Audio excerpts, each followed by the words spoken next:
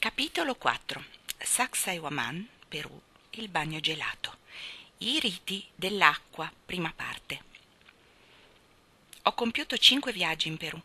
Posso dire di averlo percorso tutto dal deserto settentrionale di Chan Chan alle linee di Nazca, dalle rive dell'Oceano Pacifico al Cusco, dal lago Titicaca al Machu Picchu. Fin dall'inizio l'universo mi volle inviare un compagno di viaggio e spesso maestro, Jimmy Parada Calderon, fratello andino che porterò per sempre nel cuore. Fu lui ad aiutarmi ad entrare in Bolivia, salvandomi dai contrabbandieri di cocaina. E fu ancora lui ad accompagnarmi nei luoghi più sconosciuti e impervi delle Ande peruane, come Saiwiti o la corona ventosa di Ollantay Tampo, per sperimentare l'energia dei siti sacri della tradizione andina. Eravamo soliti, Jimmy ed io, camminare a lungo sulle montagne sopra Cusco, nell'immensa area cerimoniale di Sacsayhuaman, condividendo esperienze e intuizioni e celebrando cerimonie nei luoghi dove sentivamo forte il potere della Pachamama.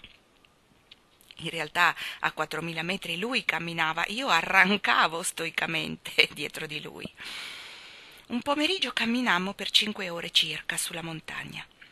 Jimmy voleva condurmi ad una grotta sacra la huaca arcoiris, l'allacuyò nella lingua tradizionale andina. Durante il percorso alcuni cani aggressivi e ringhiosi mi vennero contro, impegnando fortemente la mia volontà per non darmela elegantemente a gambe. All'inizio i cani erano due, ma via via che proseguivo, molto lentamente, se ne univano altri, provenienti da chissà dove. A un tratto mi trovai completamente accerchiata da quei cani che scoprivano le zanne sbavando verso di me. Erano otto.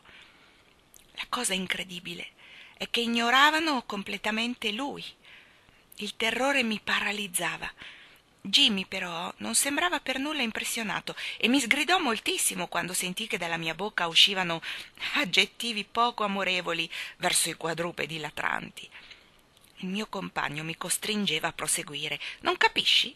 disse con tono di palese compassione, come fosse una cosa evidentissima. Sono le tue paure che danno corpo a questi cani. Se torni indietro dovrai ritentare più avanti, non puoi scappare dal tuo destino. Ah, cercando di mettere faticosamente un piede davanti all'altro, costrinsi me stessa a proseguire. Gli istanti divennero eterni, e nonostante avessi chiuso gli occhi e avanzassi aggrappata alla sua mano, sentivo l'alito fetido dei cani vicinissimo a me. Camminavo piano, con gli occhi chiusi, cercando di scomparire, fino a che, dopo un tempo eterno in cui ero quasi annegata nel mio stesso terrore, per qualche strana alchimia realizzai che davvero quei cani erano le proiezioni delle mie paure. A un tratto sembrò anche a me molto evidente fu come svegliarsi da un incubo. Ancora adesso non ricordo come andò esattamente, se i cani se ne andarono o se smisero di ringhiare.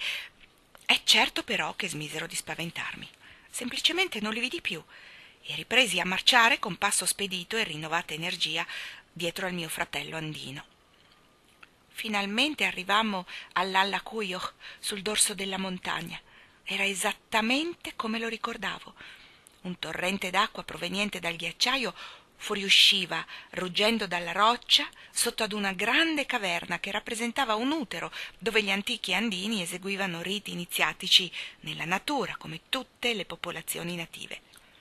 Jimmy mi aveva già condotta in quel sacro luogo due anni prima e mi aveva fatta entrare bendata nel ventre della montagna, coi piedi nell'acqua gelata e le scarpe legate al collo.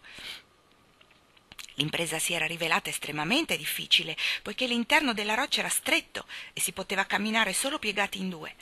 Inoltre le pietre sotto i piedi erano scivolose, l'acqua gelida toglieva sensibilità e mordeva la carne e gli occhi bendati contribuivano a rendere il tutto ancora più instabile. Ricordavo esattamente quella prova, come cercassi di aggrapparmi a qualunque appiglio che non c'era, come cercassi di non scivolare sui sassi viscidi, inciampando nei miei stessi pantaloni arrotolati, e come lo insultassi per avermi trascinata in quella situazione, mentre lui rideva a crepapelle e mi rifaceva il verso. Comprensibilmente tremavo all'idea di dover rifare l'esperienza, ma Jimmy mi tranquillizzò con la sua solita aria sorniona. Non mi avrebbe fatto ripetere lo stesso rituale. Infatti, questa volta mi fece spogliare completamente. C'era il sole, ma la temperatura dell'aria nella primavera peruana, che corrisponde al nostro autunno, era intorno ai 9 gradi. Poi Jimmy si spogliò a sua volta. Mi prese per mano entrando nel ruscello e mi fece immergere completamente insieme a lui nell'acqua gelida che si depositava in una piccola cavità formando una specie di vasca. Dopo aver lottato con la paura dei cani, non mi era rimasta abbastanza energia per avere paura anche dell'acqua gelata.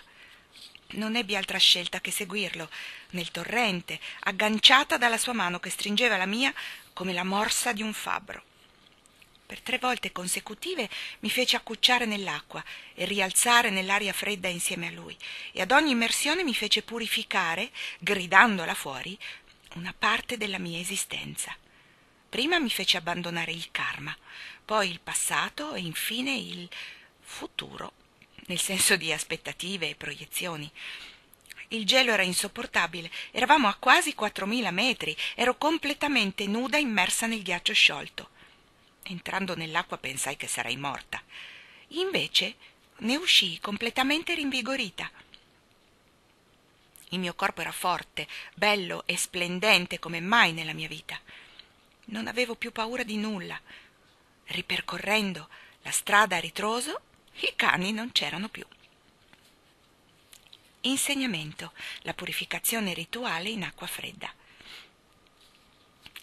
Anche quella volta riportai dal viaggio e dall'esperienza personale un insegnamento che oggi costituisce una pietra angolare della mia vita di sciamana. L'importanza dell'acqua come mezzo per viaggiare tra le dimensioni è cruciale. Avevo ricevuto indicazioni specifiche anche durante il viaggio in Giappone, quando la voce che mi guida mi disse l'acqua sarà il mezzo. Dal 1995, anno in cui pubblicai insieme a Gigi Capriolo il libro L'energia segreta dell'acqua, ad oggi l'acqua periodicamente si è ripresentata nella mia vita, fino a raggiungere un ruolo assolutamente predominante. Da sempre gli antichi si purificavano nell'acqua prima di contattare gli dei o prima di un rito. Io ho trovato in ogni parte del mondo antico ciò che resta di enormi vasche rituali dedicate alle sacre abluzioni, dalla città pre-inca di Chan Chan, nel deserto nord peruano, agli enormi barai di Angkor in Cambogia, dai cenotes sagrados nello Yucatan alle grotte Rapanui sotto ai vulcani dai nilometri egizi agli onsen giapponesi, dai mikve ebraici ai pozzi sacri sardi. Nell'antichità non esisteva rito senza acqua. Con queste nuove informazioni, dunque, cominciai a celebrare riti nell'acqua, prima per me sola, poi con mio marito e poi per altri camminanti.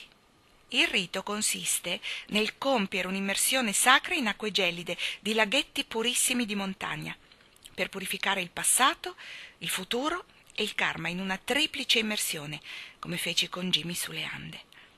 Perché il futuro? Perché questo non è nient'altro che una proiezione del passato su quello che la fisica organica di Giuliana Conforto chiama l'orizzonte degli eventi, che come un uovo ci circonda, dandoci l'illusione che il nostro film personale sia la realtà.